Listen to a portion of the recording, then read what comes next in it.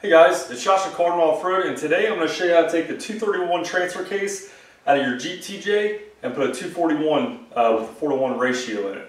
Before I do, make sure you guys subscribe to the YouTube channel, check out my other videos, and hit that thumbs up.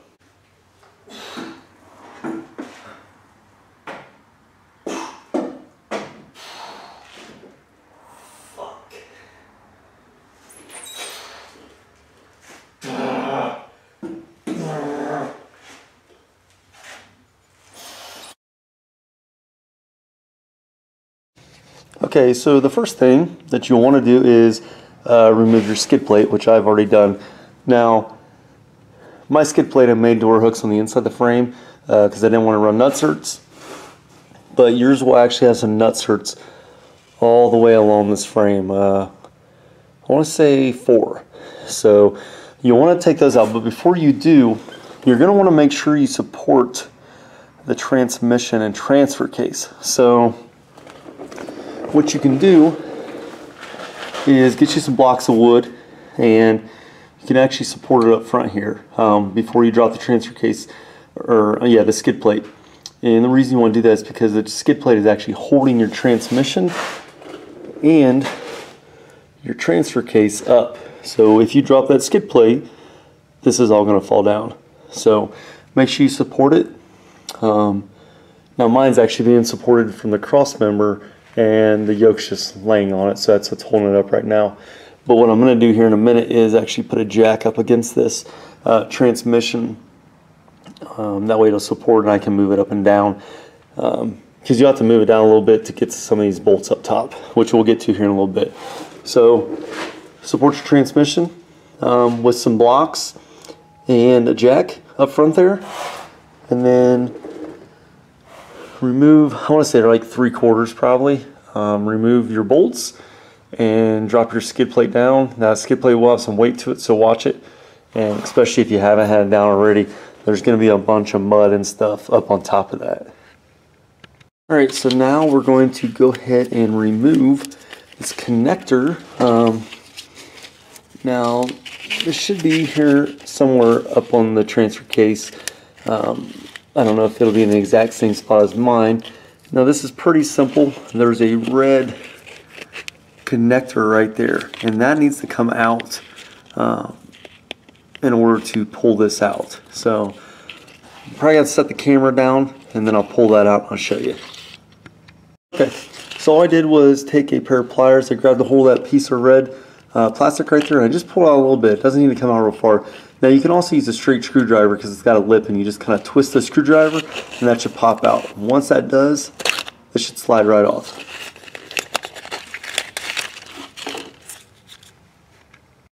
Alright, now we're going to come to the front of the transfer case um, where your linkage is hooked up.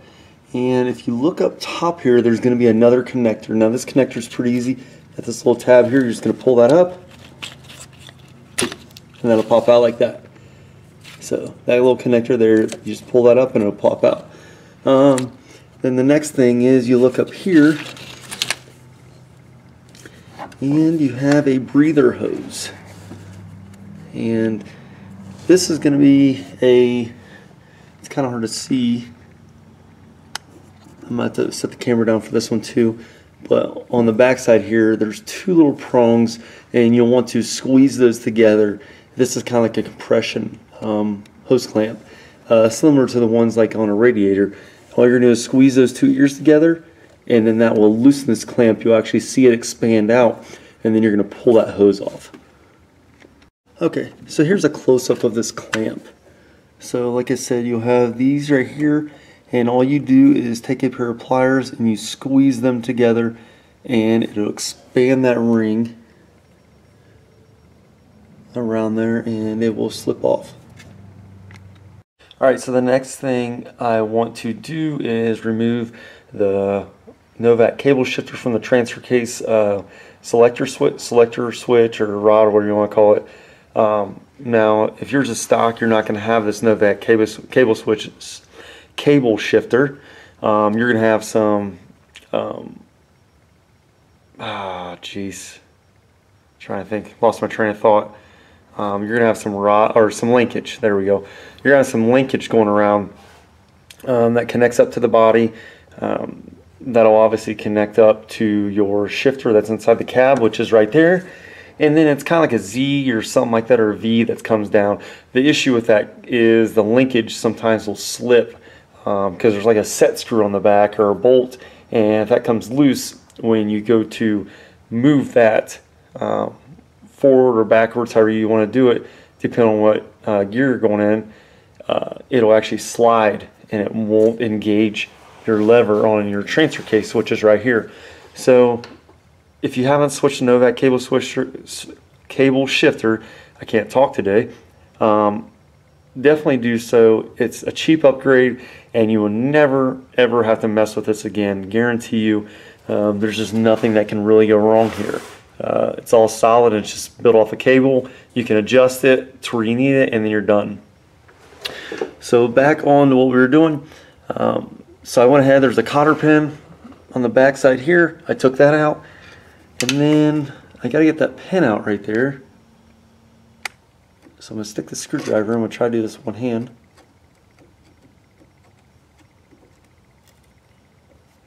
Maybe not. Maybe.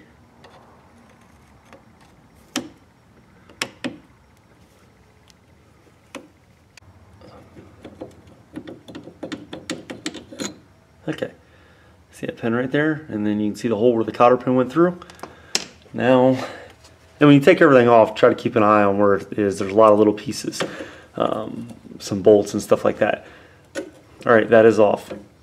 We're not gonna mess with this. Um, right now it's in two high. We're gonna leave it there. Um, even though I'm not putting this transfer case back in. All right,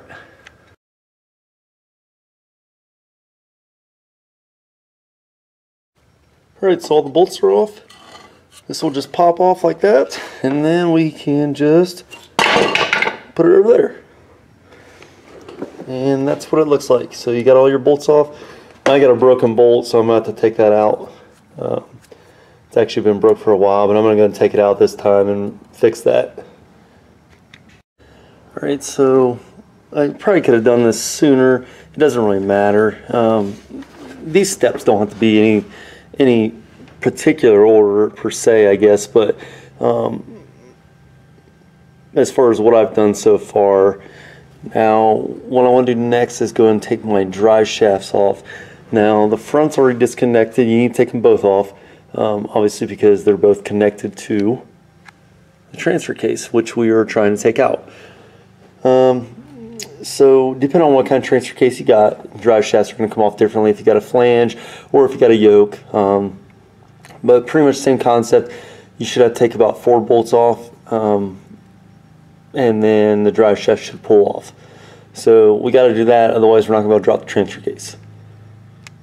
Next thing that we want to do um, is unbolt the transfer case from the transmission. But before we do so, it's a good idea to go around and just check to make sure that there's no wires or anything hooked up um, to the transfer case. So um, otherwise, when you get that off, it might get hung up when you're trying to take it down. So see if I can show you here. Where's that? Um, okay. So you can see right here, uh, you have a stud that comes through and then there's a nut on it you should have, I believe it's six of these. Um, so you have like one here, one here, and then the other one's going to be kind of see, but it's up here. And then if you go on the other side, um, you got the same thing. You have three on the other side. Um, sometimes when you take these out, the stud will come with it, and that's okay. Um, just go and take it out, and then when you get it all done, you can always take the nut off the stud, and then put the stud back into the transfer case. So don't be alarmed if this thing, this whole thing starts spinning. Um, last time I took this transfer case out, I want to say one or two of these actually came, the whole stud came out. So it's not a big deal. Um, you can support the transfer case um, if you want, but honestly, what I do is I take the lower ones loose and then I take, um, so I'll leave this one loose and then I'll take this one all the way out this one all the way out, and then I'll do the same thing on the other side. And then I'll loosen these, and as long as the studs are still in there, it should stay on the transmission. Um, but it's a good idea to keep these nuts on just in case that wants to slide back. Um, and then when I get all these out and then I loosen these up, I'm just going to hold on the transfer case and just pull it out myself. So I'm not going to use no jack or anything like that. Um, you can use a jack if you want to, but uh, these transfer cases ain't that heavy.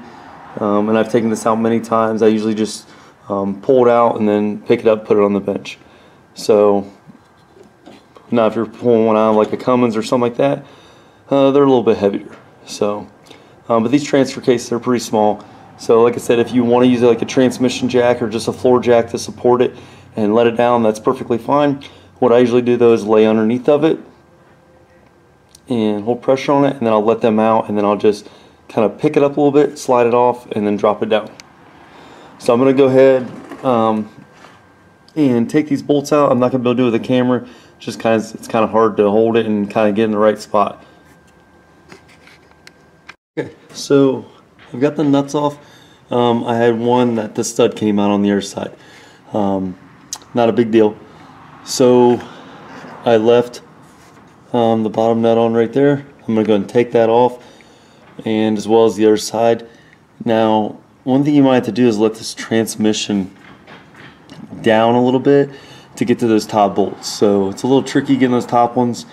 Um, you can try to use a ratchet, but you got to watch it because um, that ratchet will actually, um, on the other side, it will bottom out on the back there and then you can't get it out. So you almost have to use a wrench. Um, once you get them loose though, they should come, come loose pretty easy. So I'm going to go ahead and take those bottom nuts off and then I'm going to pull the transfer case out. Make sure when you do, um, I already support it on a jack stand. I wouldn't leave it on a jack because the jack can kind of roll around on you. Okay, so I took this nut and on the other side I loosened them pretty much where there was just a few threads on. And then I took this transfer case and I just wiggled it. You already see it splitting right there. Um, so once it splits, it's going to be pretty easy to get out. So what I'm going to do is go and take these nuts off. Now you want to be cautious um, since I don't have a jack underneath of it. Just want to be cautious not to move it around a bunch.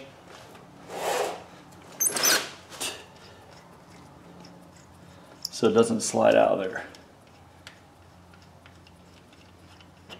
Okay, now those nuts are out. This transfer case the only thing that's holding on is it's kind of them threads on the studs. So I'm to get underneath of it.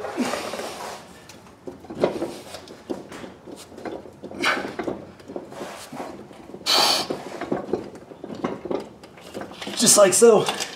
And it is out. Not that bad at all.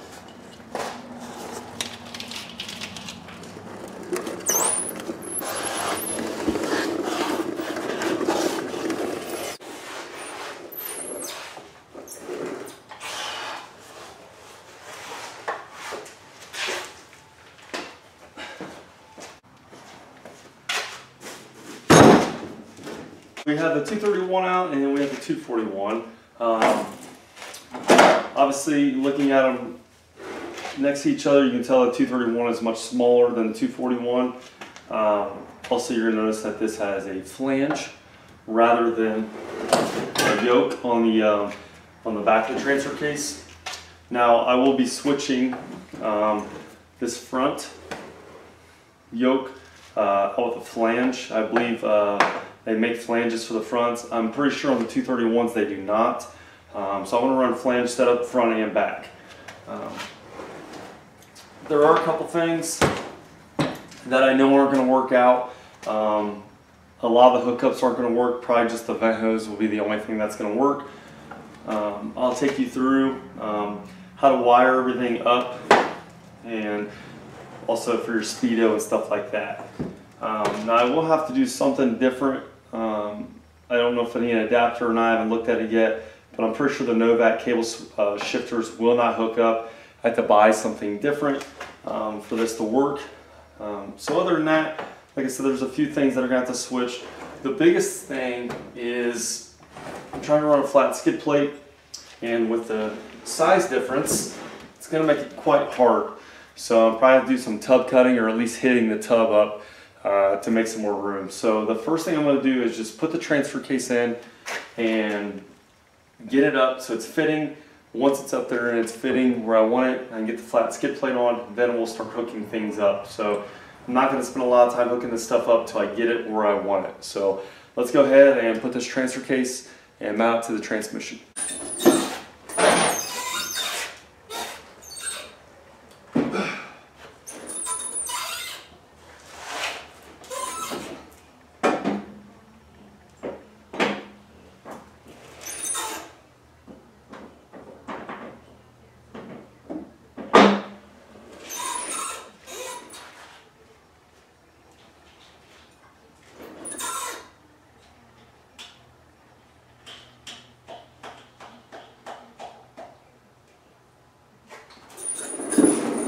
Okay, T case is in.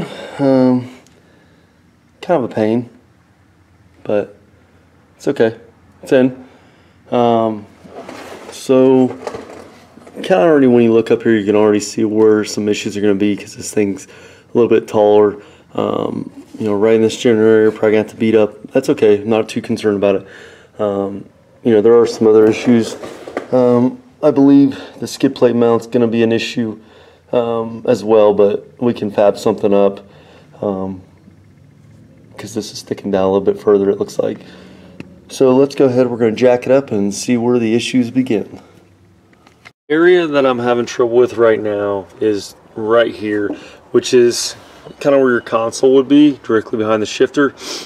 Um, so it goes straight and then the tub actually goes down a couple inches and then back. Um, give you a better look here. So what I'm going to do is I'm going to cut this right in here, and then I'm, when I I'm going to put metal back in, I'm just going to come straight back to this hole right here, straight back, and then on close that in, and that'll give me enough room for that transfer case um, to pop up inside the body.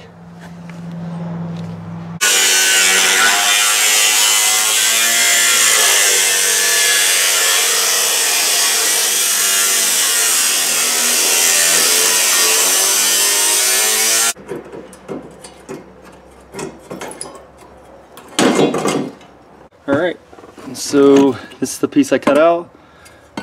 Now, this is doubled up here. Um, there's an inner and a, or a lower and an upper, I guess, however you want to say it. Um, so now what I'm going to do is I'm going to put the transfer case up here, make sure that it clears, make sure I don't have to cut any more down. Um, if that's all I've got to cut, uh, this won't be too bad at all. So I'm not sure if I got to go a little wider though. So, and then once I get the transfer case up where I want it, I will build this back off of it because I want to make sure that I get the transfer case where it needs to be and then build off and leave some clearance in there.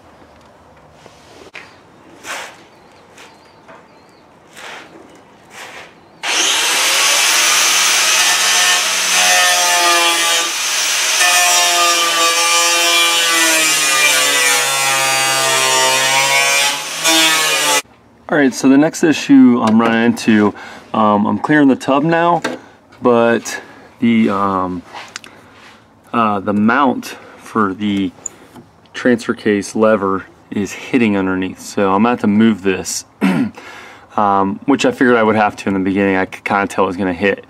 Um, so I'm gonna go do is take these bolts out around it and then pull this out and then we'll put the transfer case back up in there and check for clearance and then we'll deal with this at a different time.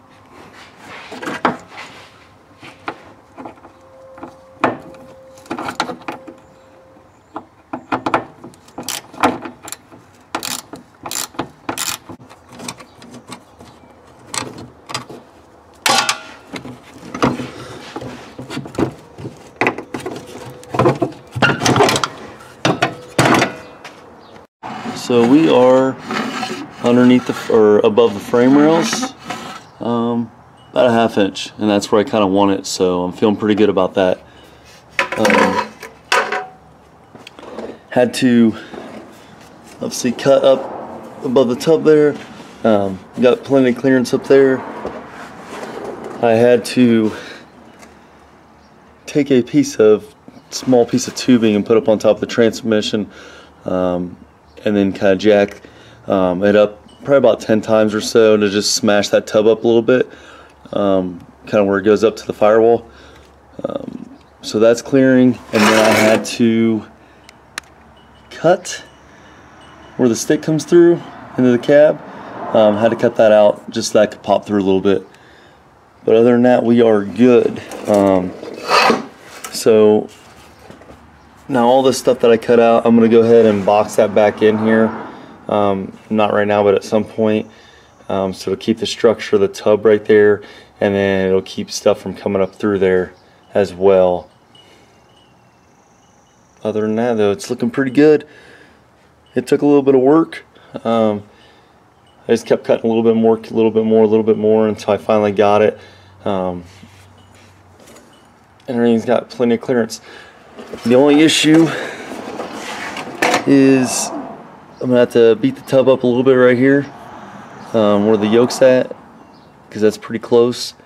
And then I'll have to figure something out for the shifter as well, because it's right up there.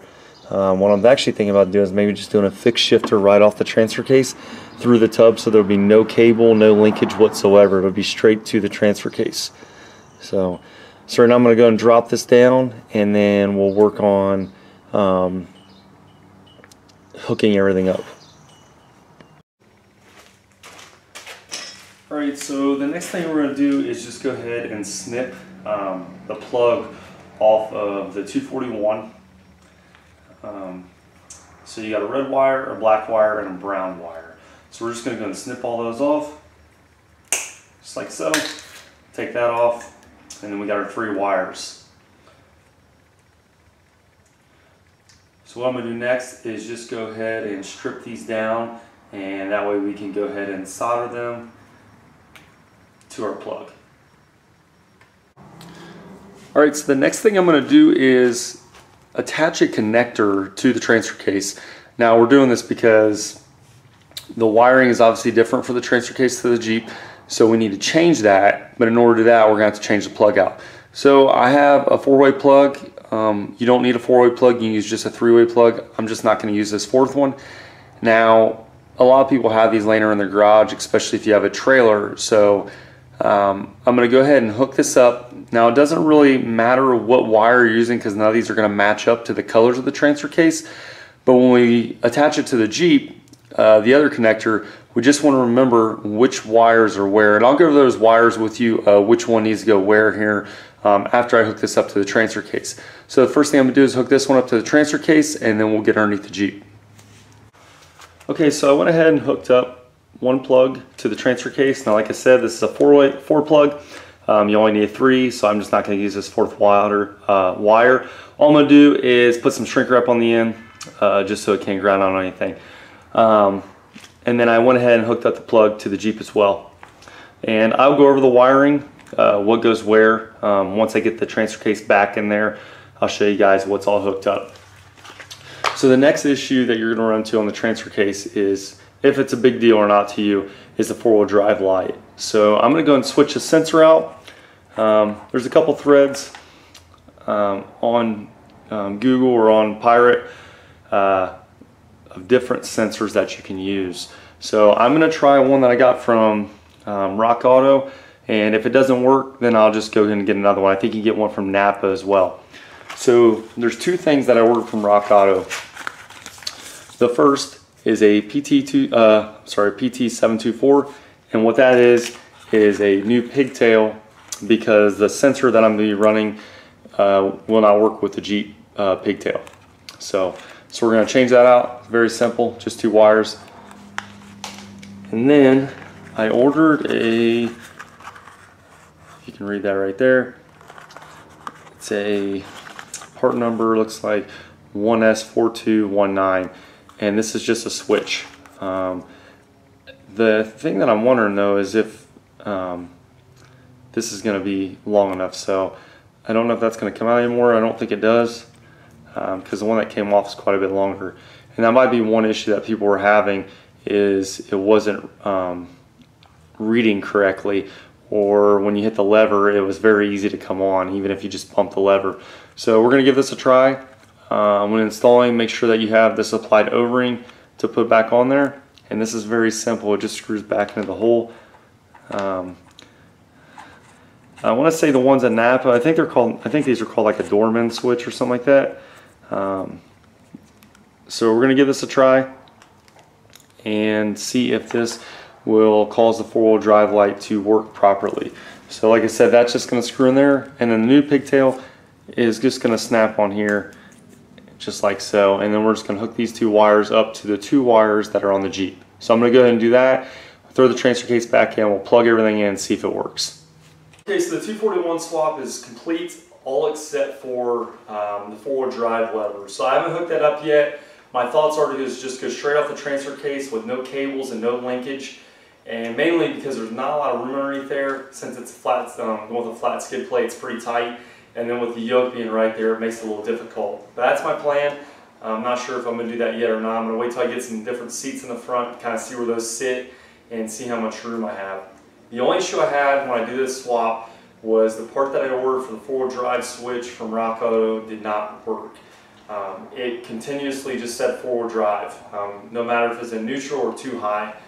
Um, so what I did is I looked up some other parts that people have used and I got one from Napa and I went through all the levers and it seems to be good to go. So time will tell, but that seems to be the biggest issue. So I will give you guys a close-up of this part number and the name of it, which is just a four-wheel drive um, switch, so it's nothing too crazy. uh, change out the same way, you just thread the other one out, thread this one in, hook up the wire. It's very simple. So I'm going to give you that at the end of the video. If you guys have any questions or comments, let me know. Don't forget to subscribe, check out my other videos, and hit the thumbs up. Thanks for watching.